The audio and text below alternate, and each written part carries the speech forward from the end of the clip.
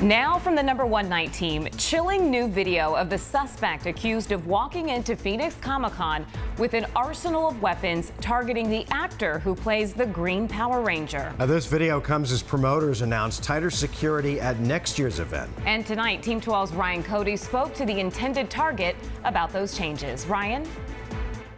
After seeing the video, he feels like tightening security is a no-brainer but many fans have a different opinion. Wow, this was the guy that came to kill me. It's still kind of it's eerie. Jason David Frank is adamant about making Comic-Con safer. Just now seeing new footage and seeing how really easy it is to get into these Comic Cons. Newly released surveillance video shows Matthew Sterling walking into the Phoenix Convention Center dressed as the Punisher, a comic book vigilante known for murdering criminals. Police say Sterling intended to harm Jason David Frank, known for his role as the Green Power Ranger. I've already forgiven him. Um, do I want him to serve jail time and get the mental help he needs? Absolutely. A tip leading police to confront Sterling, where they say he was armed with a knife and four loaded guns.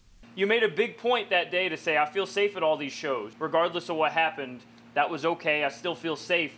Uh, has your opinion changed at all? I feel safe if they're checking for guns and they're checking for backpacks and not letting people walk in just like he did and point to a table and then just bypass it. Since then, Phoenix Comic Con making the unprecedented decision to ban any replica weapons resembling a firearm at next summer's event, vowing to check everything at the door. Phoenix is the first and it shouldn't be the last. Yet many fans slamming promoters for their decision on Facebook. Really? No lightsabers or even wands of all things, one person writes? Good luck filling the vendor spots. Another saying, I won't be going, I guess. They're taking a lot of heat and a lot of slack.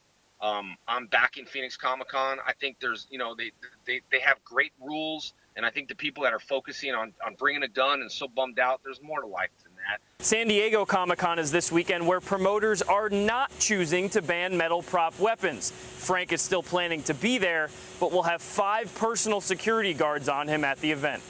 We're in Phoenix, Ryan Cody, 12 News at 10.